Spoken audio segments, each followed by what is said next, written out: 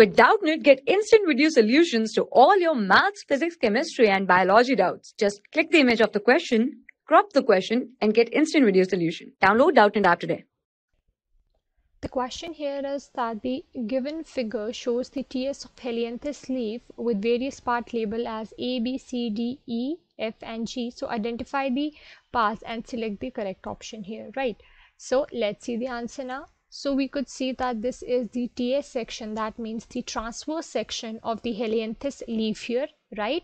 And after viewing it under the microscope it looked somewhat like this. Now this is the outermost layer. So the outermost covering is known as the epidermis right?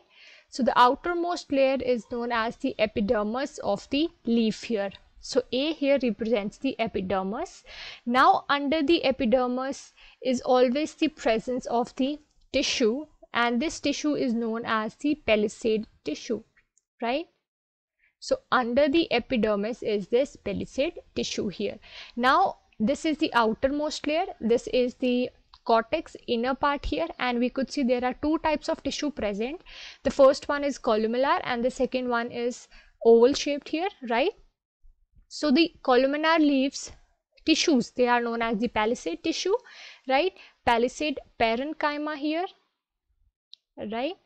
And if we talk about the second type of this, then this is a spongy parenchyma.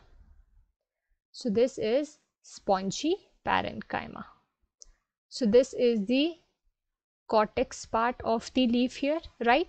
Now this D part, we could see the D part here. D parts are the opening on the lower layer, right? So if the upper part is the epidermis, then this lower part, it becomes the,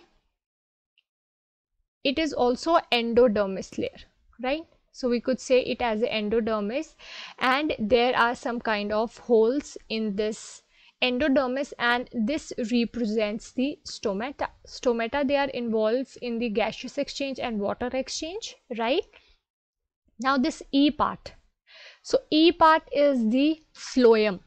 So phloem is one of the xylem tissue which helps in the transportation of food here right?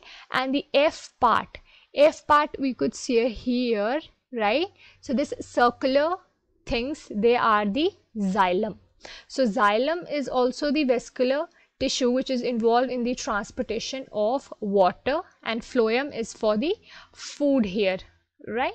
So if we see the options here, then we have A as epidermis, B is the palisade, C is spongy, D is stomata and E is phloem, F is xylem. So option 4 is correct.